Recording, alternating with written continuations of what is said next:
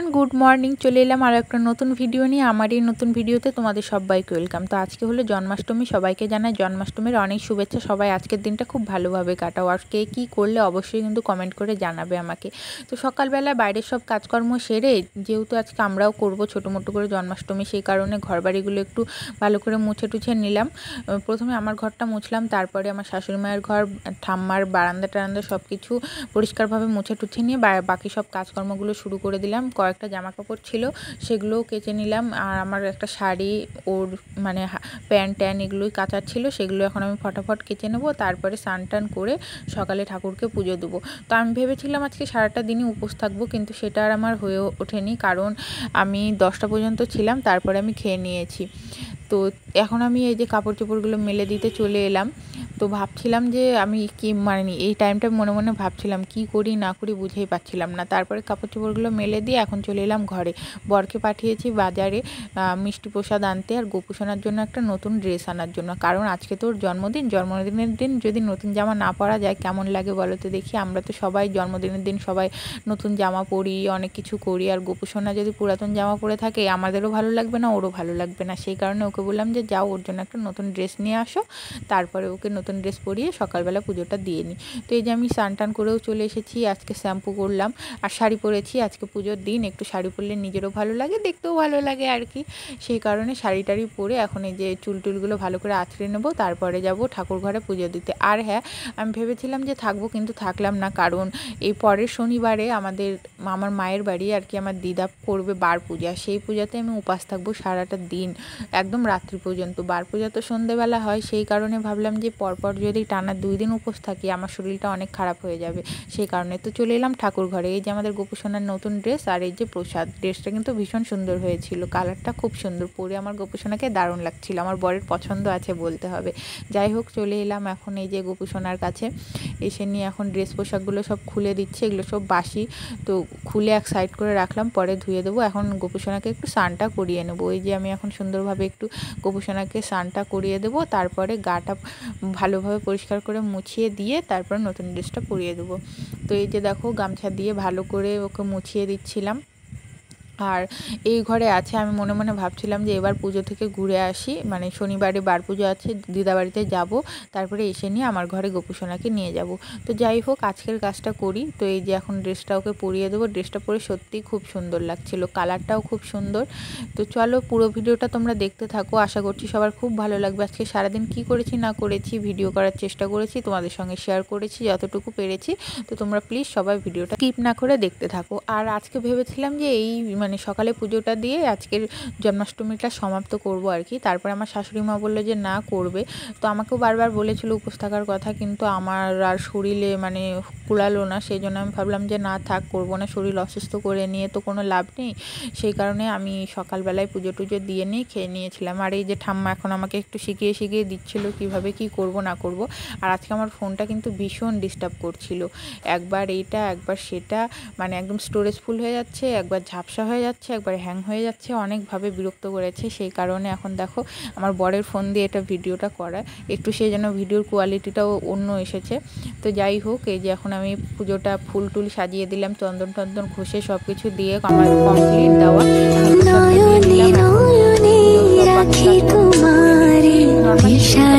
চলো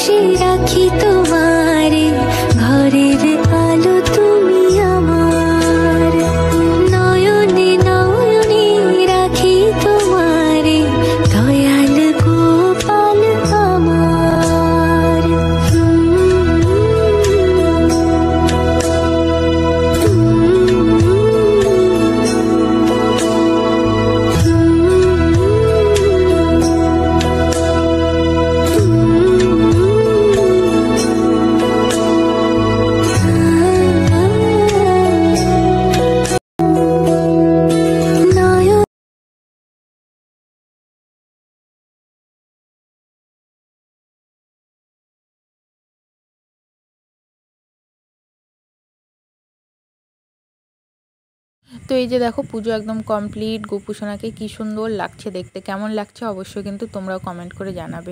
তো যাওয়া যাক, আবার বাকি সব কাজকর্মগুলো করে নিই আবার দেখা হচ্ছে তোমাদের সঙ্গে একদম রান্নাঘরে গিয়ে। তো চলো পুরো ভিডিওটা দেখতে থাকো। তো এখন চলে এলাম রান্নাঘরে। আমি মাঝখানে খাওয়া দাওয়া করে নিয়েছি, খেয়ে দিয়ে চলে এলাম রান্না করতে। রান্না রান্না করে নিয়ে তারপরে একটু ঘুম দেবো। তো চলেও এসেছি খাওয়া দাওয়া সেরে নিয়ে ঘুমোতে। তো ঘুম থেকে উঠে নিয়ে অনেক কাজকর্ম আছে। তো চলো আগে একটু ঘুমিয়ে নিই, তারপরে সব হবে। তো ঘুম থেকে উঠে নিয়ে একদম কাপড় টাপড় চেঞ্জ করে চলে এলাম। কারণ ওই শাড়ি টাড়ি করে রান্না করেছিলাম খাওয়া দাওয়া করেছিলাম সেই কারণে। আর এখন সব পুজোর কাজকর্মগুলো করব। আমার শাশুড়ি মা যেহেতু উপোস আছে, ঠাকুরকে ভোগ রান্না করে দেবে। ভোগ বলতে তাল বড়া, লুচি, সুজি রুটি এসব করবে। আর আমি একটু হেল্প করে দিচ্ছিলাম, একা একা তো সব কিছু করা সম্ভব না। এখানে আমার ময়দা মাখা কমপ্লিট এখানে লুচির জন্য আর রুটির জন্য আলাদা আলাদা করে বেলা আছে। আর এখানে দেখো সুজির জন্য দুধ, সুজি সব কিছু রেডি এখন আমি লুচিগুলো বেলে দিচ্ছি, আগে লুচিগুলো ভাজা হবে, তারপরে সব কিছু করা হবে। সেই জন্য আমি ফটাফট করে ময়দাটা মেখে নিয়ে লুচিগুলো বেলে বেলে দিচ্ছি আর মা ওইদিকে ভেজে নিচ্ছে।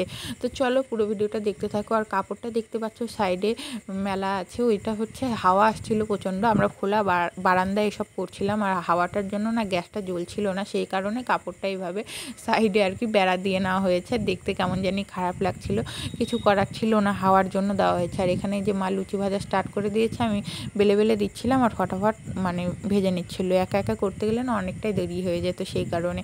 আর আমি তো কাপড় টাপড় চেঞ্জ করে এসেছি, কোনো অসুবিধা নেই। যাই হোক, এই যে দেখো এখন লুচিগুলো বেশ সুন্দরভাবে ফুলছিল। আমার দেখে তো ভীষণ মজা লাগছিল।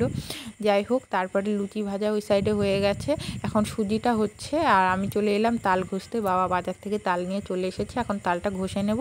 তারপরে মাকে সব বড়ার জন্য ময়দা টয়দা দিয়ে মেখে, চিনি টিনি দিয়ে রেডি করে দেবো। মা তারপরে বড়াটা করে নেবে। আর এই সাইডে দেখো এই যে সুজিটা রান্না হচ্ছে। মা করছিল আর আমি ওই সাইডে তো তালটা ঘষছিলাম দেখলেই। যাই হোক, তো চলো দেখতে থাকো। আর চলে এসেছে আমার সেই ছোট্ট দেওর, ভিডিওটা ওই করে দিচ্ছিল। আর সারাদিনে আমার একটু একটু করে ভিডিও করতে ভীষণ অসুবিধা হচ্ছিল ওই এসেছে, এখন কোনো অসুবিধা নেই, ওই করে দিচ্ছে আমার ভিডিওটা। তো যাই হোক, এই যে দেখো সুজি হয়ে গেছে, নেমেও গেছে, আর আমার তাল শাখাও হয়ে গেছে।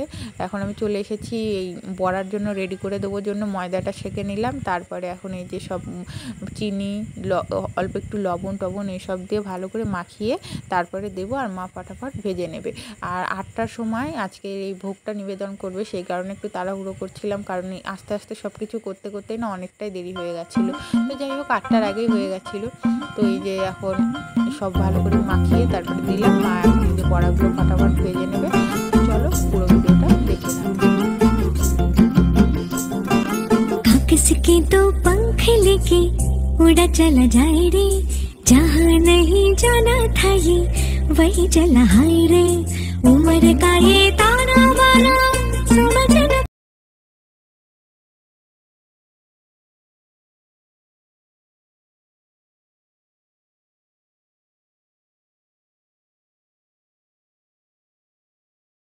তো তালবাড়া বাঁচতে বাঁচতে তো সন্ধেই হয়ে গেল, এখন মা ভাজছে তো চলো আমি সন্ধেটা দিয়ে নিই।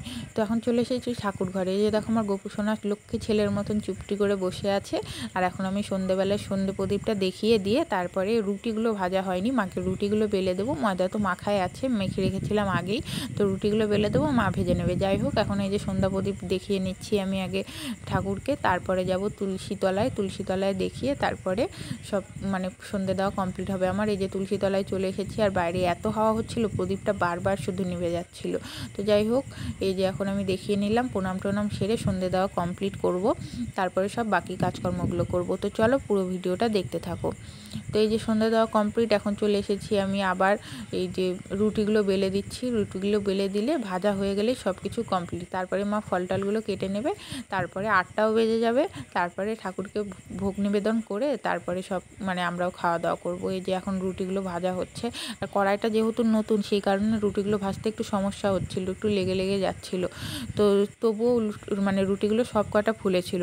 তো এই যে দেখো ভোগ আমাদের একদম রেডি এখানে তালবড়া, লুচি, সুজি, রুটি, ফলমূল, মিষ্টি সব রেডি তো চলো এখন ঠাকুরকে দিয়ে দেওয়া যাক।